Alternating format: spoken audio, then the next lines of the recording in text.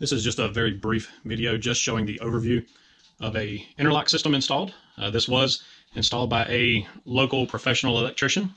I do not claim to be an electrician and do not want to even begin some of this work, so I pay somebody to, that knows exactly what they're doing, a little bit of money to come in and do it right for me. But just wanted to go over this. Uh, this is my uh, your typical square D interlock, or actually square D panel.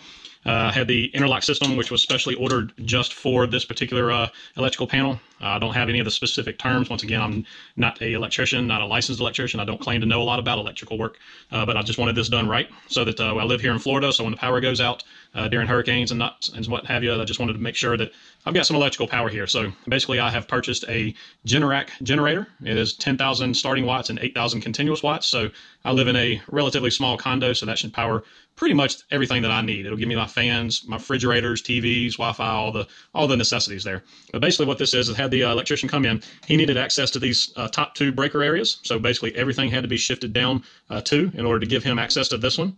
Uh, this is my interlock breaker, and so here is my main up top basically, as you can tell, this thing, this metal piece right here is your actual interlocking device. It slides up and down. Uh, as you can tell right now, it will not slide up because my main power is on. So this top generator uh, breaker right here for the actual generator to be plugged in, this will not turn on because this piece is in the way, it will not slide up. So I'm not going to do it right this moment. Uh, you can check for further videos later on, but what you would do is slide off your main.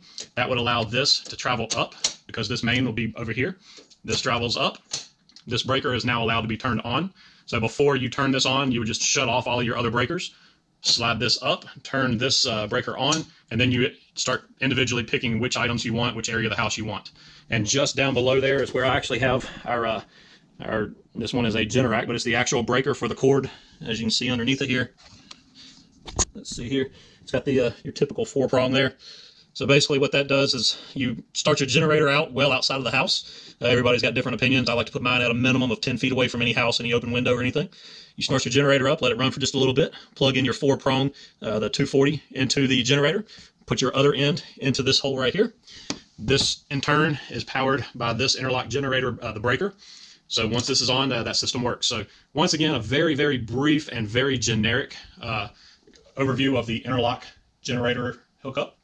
If you need any further questions, uh, you can post comments in the section below. I can answer any uh, simple questions for you.